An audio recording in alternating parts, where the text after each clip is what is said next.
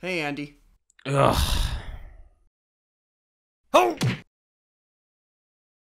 So, how is the Area 51 raid? Garbage. Absolute trash. You don't say. So I'm guessing you guys didn't make it far before the military shut the whole thing down? Oh no, we made it all the way through. Really? Yeah, the government pretty much thought the whole thing was a joke, so they didn't prepare for 200,000 people to storm the base at once. Getting to the base was the easy part. Not everyone made it clean.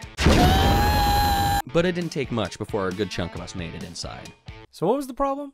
When we got there, there weren't any aliens at all. All we found were some expired rations, novelty shoes from the 90s, and some lousy documents about staff members' paychecks and welfare.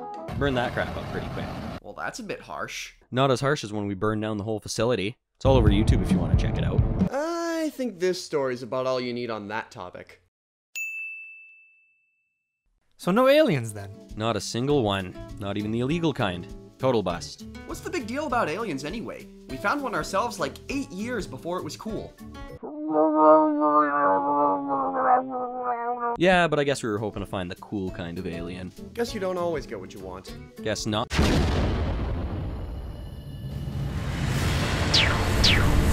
We did it, my Flargles. We raided this dumb planet with our photon cheek slappers and Naruto slithering. Now to storm the government facilities! These puny earthlings can't hide all of their sexy Martian magazines from us forever! Oh, right. I also found this. Hey there, everyone. Thanks for watching this quick short. The end of the next episode is going to be a big turning point for this series, and on top of that, it's going to be a two-parter. Part 1 should hopefully be out by the end of this year, early next year at the latest, so please don't miss out on it. While you wait, feel free to watch the old episode playlist and subscribe if you haven't already.